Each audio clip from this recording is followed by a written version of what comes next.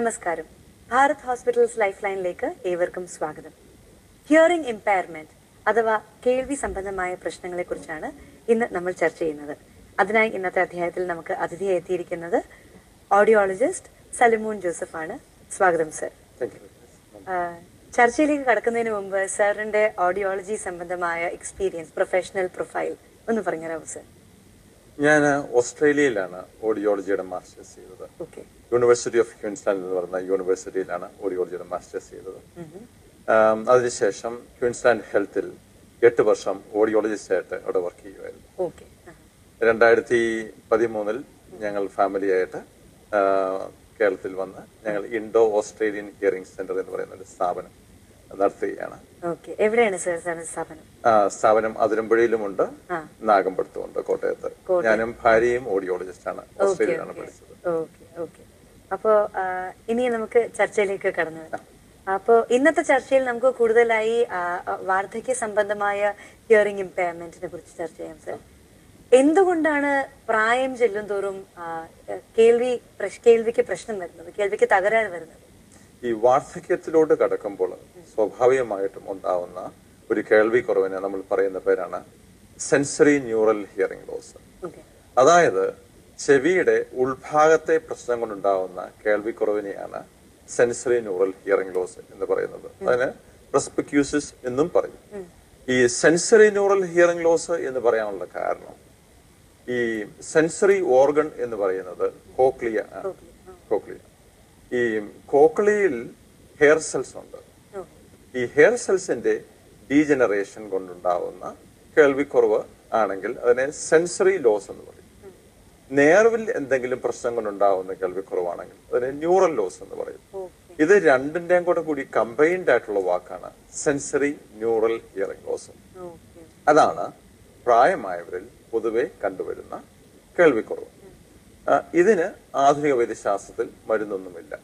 നമുക്ക് ചെയ്യാൻ പറ്റുന്നത് നമ്മുടെ കണ്ണിന്റെ കാഴ്ച കുറയുമ്പോൾ നമ്മൾ കണ്ണാടി വെക്കുന്നത് പോലെ കേൾവി കുറയുമ്പോൾ ശ്രവണ സഹായി വെക്കും.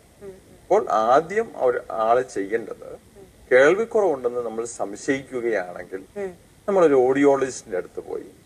നമ്മൾ ഒരു റെക്കോർഡിംഗ് സ്റ്റുഡിയോ അല്ലെങ്കിൽ സൗണ്ട് ട്രീറ്റഡ് റൂമിൽ ഓഡിയോമീറ്ററിന്റെ സഹായത്തോടു കൂടി നമ്മൾ കേൾവിയുടെ ടെസ്റ്റ് നടത്തണം അപ്പൊ നമ്മൾ ജനം ടി വിയുടെ റെക്കോർഡിംഗ് സ്റ്റുഡിയോയിൽ ഇരിക്കുന്നു ഇവിടെ ഒരു ട്വന്റി ഫൈവ് ഡെസിബലിന് താഴെ മാത്രമേ ഉള്ളൂ ബാക്ക്ഗ്രൗണ്ട് നോയ്സ് ഉള്ളൂ. അത്ര ബാക്ക്ഗ്രൗണ്ട് നോയ്സിനെ നമ്മൾ കൺട്രോൾ ആണ്. അപ്പം നമ്മൾ ഓഡിയോളജിസ്റ്റ് ഈ ഒരാളുടെ കേൾവിക്കുറവ് കണ്ടെത്തുക എന്ന് പറയുമ്പോൾ ഒരാൾക്ക് കേൾക്കാൻ പറ്റുന്ന ഏറ്റവും സോഫ്റ്റസ്റ്റ് ആയിട്ടുള്ള സൗണ്ടാണ് നമ്മൾ കണ്ടുപിടിക്കുന്നത്. അപ്പം കേൾവിക്കുറവ് ആദ്യം അതിന്റെ ഗ്രാവിറ്റി എന്ത് വിവരമുണ്ട്? കേൾവിക്കുറവിന്റെ ഗ്രാവിറ്റിയെ നമ്മൾ പല രീതിയിലാണ് ഇന്റർനാഷണലി ഉപയോഗിക്കുന്നത്. മൈൽഡ് ഹിയറിംഗ് ലോസ് ഇപ്പം സൗണ്ടിനെ നമ്മൾ എന്താണ് ശരിക്കും അതായത് ഇപ്പം ഇത് പലതരം ഗ്രഡേഷൻസ് ആണ്. പക്ഷെ കേൾവിയെ എന്ത് തരത്തിലാണ് പെർസെന്റേജിലാണോ എന്ത് തരത്തിലാണ് നിർണയിക്കുന്നത്? കേൾവിയെ പെർസെന്റേജിലല്ല നിർണയിക്കുന്നത്. അതിനെ ഈ ഡെസിബൽ നമ്മൾ ദൂരത്തെ അളക്കുന്നത് കിലോമീറ്ററിലാണ് നമ്മൾ ഭാരത്തെ കിലോഗ്രാമിലാണ് നമ്മൾ നമ്മൾ ശബ്ദത്തെ അളക്കുന്നത് ഡെസിബിളിലാണ് അപ്പം ഡെസിബിൾ ആണ് ഇതിന്റെ ക്രൈറ്റീരിയ എത്ര ഡെസിബിൾസ് കേൾക്കാം എന്നുള്ളതാണ് അല്ലേ? കറക്റ്റ് കറക്റ്റ് അപ്പം ലൗഡ്നെസ്സും ഉണ്ട് പിച്ചും ഉണ്ട്. അപ്പം മനുഷ്യന് ട്വന്റി ഹേർട്സ് മുതൽ ട്വന്റി തൗസൻഡ് ഹേർട്സ് വരെ നമുക്ക് കേൾക്കാം. പക്ഷെ നമ്മുടെ speech basically twenty to fifty hertz മുതൽ എണ്ണായിരം ഹെഡ്സ് വരെ ലിമിറ്റ് ചെയ്യപ്പെട്ടിരിക്കുകയാണ്. അപ്പോൾ ഒരു ഓഡിയോളജിസ്റ്റിന്റെ അടുത്ത് വരുമ്പോൾ നമ്മൾ ടു ഫിഫ്റ്റി മുതൽ എണ്ണായിരം വരെ ടെസ്റ്റ് ചെയ്താൽ മതി. കാരണം നമ്മുടെ സ്പീച്ച് നമ്മൾ ലോകം സ്പീച്ച് കേൾക്കാം എന്നുള്ളതാണ് അതാണ്. അപ്പം നമ്മൾ ട്വന്റി ടു ഫോർട്ടി കേൾവിക്കുറവുണ്ടെങ്കിൽ ഡെസിബിൾ ആണെങ്കിൽ അതിനെ മൈൽഡ് ഹിയറിംഗ് ലോസ് എന്ന് പറയും. Forty to fifty five moderate fifty five to seventy moderately severe seventy to ninety decibel ആണെങ്കിൽ അതിനെ സിവിയർ എന്ന് പറയും. തൊണ്ണൂറിനേക്കാളും കൂടിയ കേൾവിക്കുറവാണെങ്കിൽ അതിനെ പ്രൊഫൗണ്ട് ഹിയറിംഗ് ലോസ് എന്ന് പറയും. അപ്പൊ ഇതിന്റെ ഡിഗ്രിയാണ് നമ്മൾ ഇങ്ങനെ പറയുന്നത്. അപ്പോൾ എവിടുത്തെ പ്രോബ്ലം കൊണ്ടുള്ള കേൾവിക്കുറവാണ് എന്നുള്ളതിനെ നമ്മൾ ടൈപ്പ് ഓഫ് ഹിയറിംഗ് ലോസ് എന്ന് പറയും. ചെവിയുടെ മധ്യഭാഗത്തെ പ്രോബ്ലം കൊണ്ടുണ്ടാവുന്ന കേൾവിക്കുറവിനെ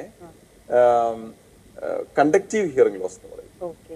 ചെവിയുടെ മധ്യഭാഗത്താണ് അപ്പൊ ഒരു ഓഡിയോളജിസ്റ്റിന് കറക്റ്റ് ആയിട്ടുള്ള test site of lesion test നടത്തി കഴിയുമ്പോൾ അറിയാൻ പറ്റും ചെവിയുടെ ഏത് ഭാഗത്തെ പ്രോബ്ലം കൊണ്ടാണ് ഈ വ്യക്തിക്ക് കേൾവിക്കുറവുണ്ടാകുന്നത് അപ്പം ചെവിയുടെ ഉൾഭാഗത്തെ പ്രോബ്ലം കൊണ്ടാണെങ്കിൽ അതിനെ സെൻസറി ന്യൂറൽ ഹിയറിംഗ് ലോസ് എന്ന് പറയുന്നത്.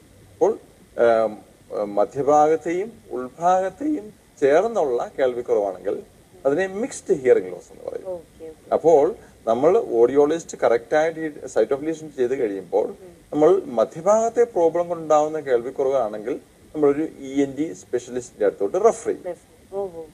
അപ്പോൾ അപ്പം E N T specialist medical management ഇപ്പൊ നമുക്ക് പെർഫറേഷൻ അതായത് ഇയർ ഡ്രമ്മിന് ഒരു സുഷിരമുണ്ടെന്ന് വിചാരിക്കും അപ്പോൾ അവർക്ക് തലതാത്തി കുളിക്കാൻ പറ്റിയല്ല. കാരണം വെള്ളം നേരെ ചെവിയുടെ മധ്യഭാഗത്തോട്ട് കയറും. ആ വെള്ളം പൂർണമായിട്ട് തല തിരിച്ചാൽ പോലും പൂർണമായിട്ട് വെളിയിലോട്ട് വരില്ല. അപ്പൊ അത് കൂടുതൽ കൂടുതൽ ഇൻഫെക്ഷൻ ഉണ്ടാകാനുള്ള സാധ്യത ഉണ്ടാവും അപ്പോൾ ടിബനോപ്ലാസ്റ്റി എന്ന് പറയുന്ന ഒരു സർജറിയാണ് ഏറ്റവും അഭികാമ്യം. അതായത് ഒരു പാച്ച് വെച്ച് ആ തൊള്ള അടയ്ക്കും. അടയ്ക്കുക. അടയ്ക്കുക. അപ്പൊ അങ്ങനെയാവുമ്പോൾ നമുക്ക് തലതാത്തി കുളിക്കാൻ പറ്റും. നമുക്ക് ഹിയറിങ് നോർമലിലോട്ട് വരികയും ചെയ്യും. പക്ഷെ ചില പ്രായമുള്ള ആൾക്കാർക്ക് ഡോക്ടർ തീരുമാനിക്കും ബോധം കെടുത്തി കഴിഞ്ഞു കഴിഞ്ഞാൽ റിസ്ക് ഫാക്ടർ വളരെ കൂടുതലുണ്ട്. അതുകൊണ്ട് സർജറി വേണ്ട എന്ന് ചിലപ്പോൾ ഡോക്ടർ തീരുമാനിക്കും. അങ്ങനെയുള്ള കണ്ടീഷനിൽ ഇയറിംഗ് എയ്ഡ് വെക്കാം. ഇയറിംഗ് എയ്ഡ് വെക്കുമ്പോൾ പ്രത്യേകിച്ച് ഇങ്ങനെ ഇപ്പം ചെമ്പ നമുക്ക് ഇയർ ഡ്രമ്മിന് സുഷിരമുണ്ടെങ്കിൽ നമ്മൾ ചെവിയുടെ പുറകിൽ വെക്കുന്ന ശ്രവണ സഹായിയാണ് റെക്കമെൻഡ് ചെയ്യുന്നത്. കാരണം ചെവി ചെവിയുടെ ഉള്ളിൽ വെക്കുന്ന വെച്ച് കഴിഞ്ഞാൽ അത് അടഞ്ഞിരിക്കുകയാണെങ്കിൽ പിന്നെ ഔട്ട്വേർഡ് സൗണ്ട്സിന്റെ അല്ല? പിന്നെ പിന്നെ ഇൻഫെക്ഷൻ ഉണ്ടാകാനുള്ള സാധ്യത ഉള്ളിൽ വെക്കുക. സാധാരണക്കാർക്ക് ഇപ്പം ടിംബാനിക് മെമ്പറൈൻ കുഴപ്പമൊന്നുമില്ല പെർഫറേഷൻ ഒന്നും ഇല്ല എങ്കിൽ ഉള്ളിൽ വെക്കുന്ന വളരെ ഡിസ്ക്രീറ്റ് ആയിട്ടുള്ള ശ്രവണ സഹായികൾ മാർക്കറ്റിൽ ലഭ്യമാണ്. പക്ഷെ ഓർക്കേണ്ട ഒരു കാര്യം കേൾവിക്കുറവിനനുസരിച്ച് വേണം നമ്മൾ ഹിയറിംഗ് എയ്ഡ് ഡിജിറ്റലി പ്രോഗ്രാം ചെയ്യാൻ പറ്റുന്ന ശ്രവണ സഹായി നമുക്ക് പ്രോഗ്രാം ചെയ്തെടുക്കാനായിട്ട്. എന്നാലേ ഉള്ളൂ ഓഡിയോളജിസ്റ്റ് സഹായം തന്നെ തേടണം അല്ലേ? തീർച്ചയായിട്ടും തീർച്ചയായും തിരിച്ച് ചർച്ചയുടെ ക്രക്സായ ഭാഗം അതായത് വാർദ്ധക്യ സംബന്ധമായ ഇത് ശ്രവണ കേൾവി പ്രശ്നങ്ങൾ. അപ്പം ഇത് എന്തുകൊണ്ടാണ് സാർ അതായത് എന്തെങ്കിലും ഡെഫിഷ്യൻസി ആണോ? അതായത് നമ്മളിപ്പോ ഒരു യൂത്തിലെ ഈ ഒരു നമുക്കറിയാം കാഴ്ചയ്ക്ക് ചിലതരം ഡെഫിഷ്യൻസി ആണ് മെയിൻ ആയിട്ടുള്ള റീസൺ എന്ന്. അപ്പോൾ എന്തെങ്കിലും തരം സപ്ലിമെന്റേഷൻ എന്തെങ്കിലും തരം യുനോ പ്രിവെന്റീവ് കെയർ എടുക്കേണ്ടതായിട്ടുണ്ടോ? ഈ കേൾവി കുറവ് അവോയ്ഡ് ചെയ്യാൻ ഇൻ ദ യൂത്ത് തീർച്ചയായിട്ടും. വളരെ നല്ലൊരു ക്വസ്റ്റ്യൻ ആണ്. കാരണം നമ്മുടെ യൂത്ത് പൊക്കോണ്ടിരിക്കുന്നത് ഒരു വളരെ ഡേഞ്ചറസ് പാത്തിലൂടെയാണ് കാരണം ശബ്ദം അവർക്കൊരു ഹരമാണ്.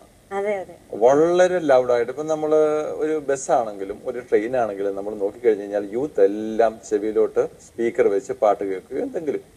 ഈ ആംബിയന്റ് നോയ്സിനേക്കാളും കൂടിയ ഉച്ചത്തിലാണ് ഇവർ വോളിയം വെച്ചിരിക്കുന്നത് സിഗ്നൽ ടു നോയിസ് റേഷ്യോ എന്ന് പറയും. ഇപ്പോൾ ട്രെയിനിൽ നമ്മൾ യാത്ര ചെയ്തുകൊണ്ടിരിക്കുമ്പോൾ ട്രെയിനിൽ തന്നെ ഒരു തൊണ്ണൂറ് നൂറ് ഡെസിബൽ സൗണ്ട് ട്രെയിൻ ഒരു പാളത്തെ കൂടെ പോകുമ്പോൾ അതുണ്ടാക്കുന്നുണ്ട് അതിനേക്കാളും കൂടിയ ഒച്ച വെച്ചാൽ മാത്രമേ ഉള്ളൂ. നമുക്ക് ആ പാട്ട് കേൾക്കാൻ പറ്റുള്ളൂ.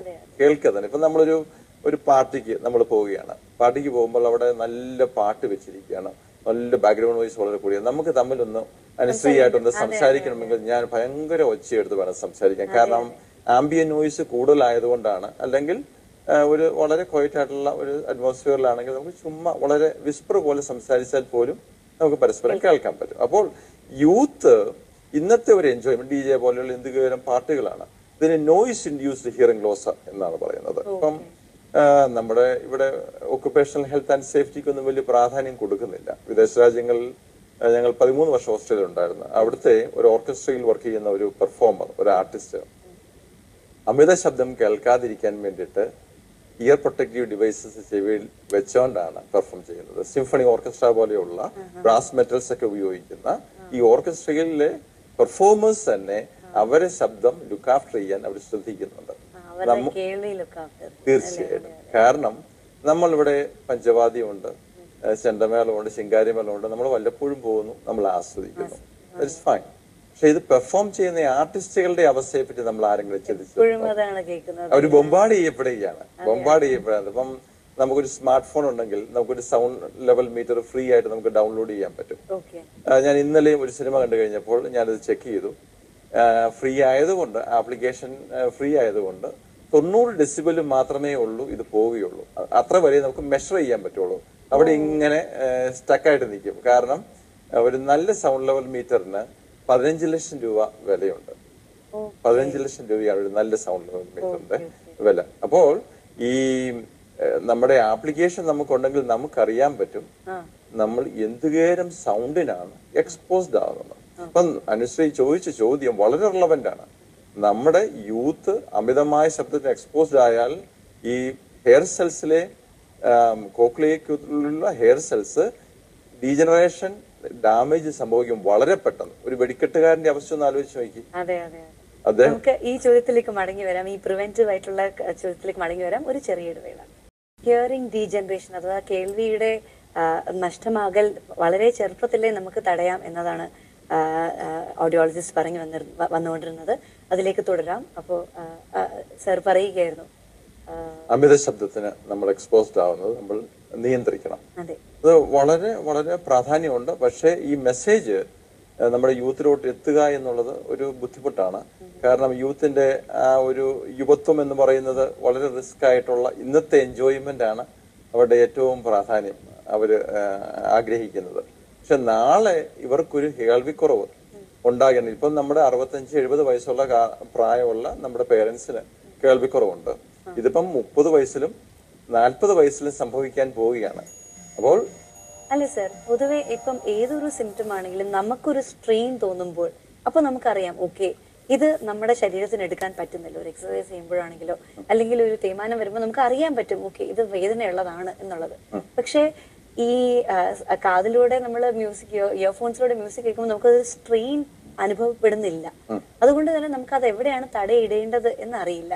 അപ്പം ഇതിനെ നമ്മൾ എങ്ങനെയാണ് മനസ്സിലാക്കുക എന്താണ് പെർമിസിബിൾ ലിമിറ്റ്സ് ഈ അതിന് ഓഡിയോളജിസ്റ്റിന്റെ പ്രാധാന്യം വളരെ ഇമ്പോർട്ടന്റ് ഓഡിയോളജിസ്റ്റ് ഈ മെസ്സേജ് എല്ലാ മാധ്യമങ്ങളിലൂടെയും ജനങ്ങളിൽ എത്തിക്കണം. കാരണം ഈ സൗണ്ടിനെ അളക്കുന്നത് ഡെസിബിളിലാന്ന് ഞാൻ പറഞ്ഞു. ഫൈവ് ഡെസിബലിനേക്കാളും കൂടിയ ശബ്ദങ്ങളെല്ലാം അപകടകാരികളാണ്.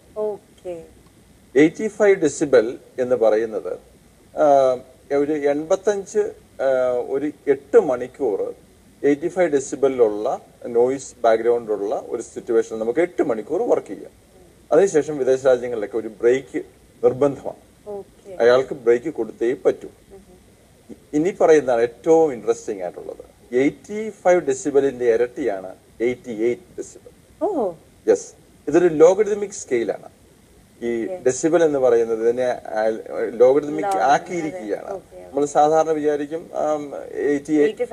ഡബിൾ ആണ് ന്യൂമറിക്കൽ ഡബിൾ അല്ല ന്യൂമറിക്കൽ ഡബിൾ അല്ല ഇത് വളരെ നാഷണൽ അക്കോസ്റ്റിക് ലബോറട്ടറി എന്ന് പറയുന്നത് ഓസ്ട്രേലിയയിലെ ഒരു റിസർച്ച് ഇൻസ്റ്റിറ്റ്യൂഷൻ ആണ് സൗണ്ടിനെ പറ്റി മാത്രം ആധികാരികമായിട്ട് റിസർച്ച് ചെയ്യുന്ന ഗവൺമെന്റ് ഫണ്ടഡ് ആയിട്ടുള്ള ഒരു ഓർഗനൈസേഷൻ ആണ് അപ്പോൾ അവരുടെ ഫൈൻഡിങ് ആണ്.